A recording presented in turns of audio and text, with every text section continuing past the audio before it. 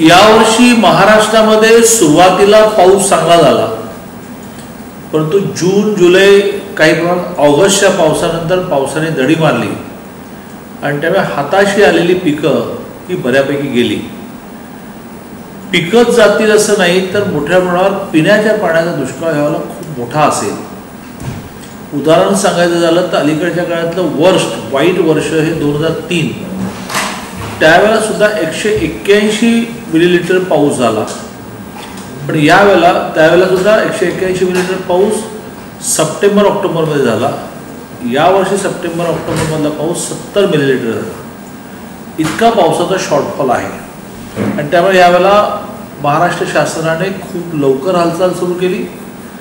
पहिल्या टप्प्यामध्ये दोनशे एक तालुके हे दुष्काळाच्या दिशेने वाटचाल करताना लक्षात आलं की ज्याच्यामध्ये पावसाने ओढ दिली एकवीस दिवस किंवा अठ्ठावीस दिवस असे दोनशे एक तालुके निघाले.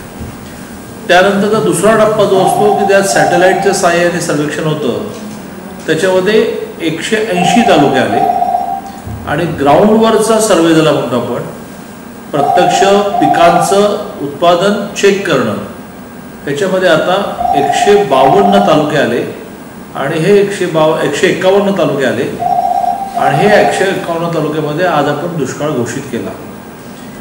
या व्यतिरिक्त जवळजवळ पावणे तीनशे मंडल अशी निघतील की ज्या मंडलामध्ये सातशे मिलीलिटरपेक्षा पाऊस कमी झाल्यामुळे उत्पादनाला धोका निर्माण झाला असेल.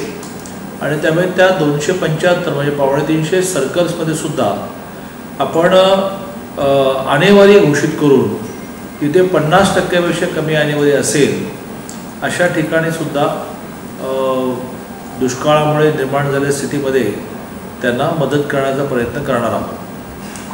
प्रामुख्याने दुसऱ्या टप्प्यामध्ये एकशे ऐंशी तालुके ज्यावेळेला दुष्काळाच्या दिशेने वाटचाल करतायत असं लक्षात आलं त्यावेळेला एकशे ऐंशी तालुक्यांमध्ये आपण दुष्काळ सदृश स्थिती घोषित करून आठ प्रकारच्या सुविधा ज्या द्यायच्या असतात त्या द्यायला सुरुवात केली.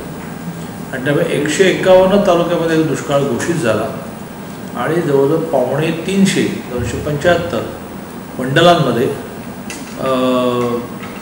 सातशे मिलीमीटरपेक्षा पाऊस कमी असेल आणि त्यामुळे पन्नास टक्क्यापेक्षा कमी आणि तिथे असेल तर त्या ठिकाणी सुद्धा दुष्काळ घोषित करायला लागेल. त्यासाठी आवश्यक असणार असणारा असणारं सगळं सर्वेक्षण आकडेवारी हे गोळा करण्याचं काम सुरू आहे.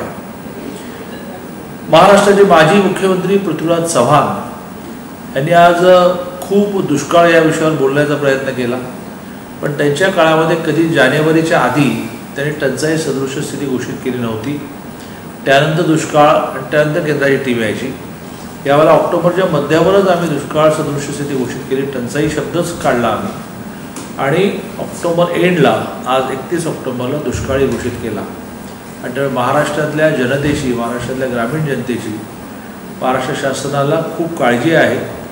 महाराष्ट्र शासनाने गेल्या चार वर्षामध्ये वेगवेगळ्या निर्णयाच्या निमित्ताने हे दाखवून दिलं आहे की महाराष्ट्र शासन सामान्य शेतकऱ्याच्या मागे उभे आहे.